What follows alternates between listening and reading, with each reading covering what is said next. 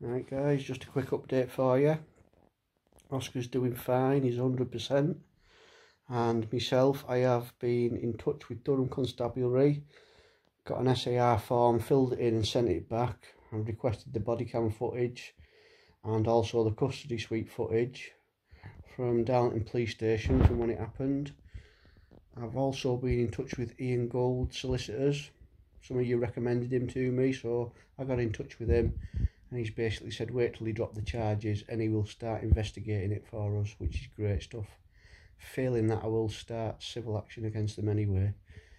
And um, what I'm also planning by the end of this week is to write to the local MP for that area and letting them know what's happened. And I will make them aware that there's a good chance that they will lose the body cam footage or there'll be a problem with the body cams it'll be broken or something they couldn't get anything on it. And also the fact that there'll be a problem with my phone like it will go missing or something. So I've drawn that to their attention and explained everything what's happened. So I'm also going to do the same with the newspaper local newspaper tell them the same sort of stuff tell them what's happened and say you can bet your bottom dollar on it that they're going to lose the footage from not only my phone but the body cams or there'll be some sort of problem with it.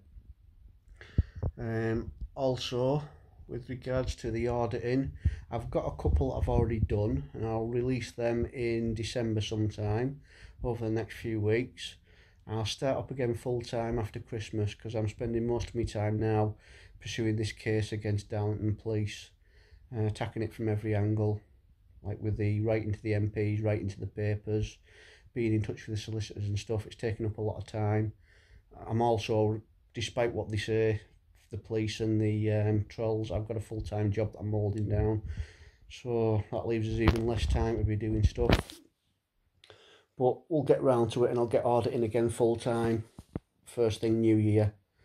Hopefully my AdSense will be back up then as well so I can get some money coming in to pay for fuel and stuff like that and get out and about across the country. Do some more audits.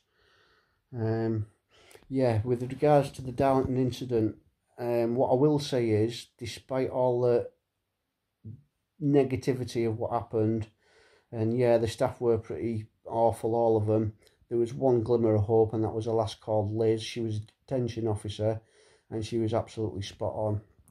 I get the feeling she knew the crack and what was going on, and uh, yeah, she looked after us, and she treated us really well.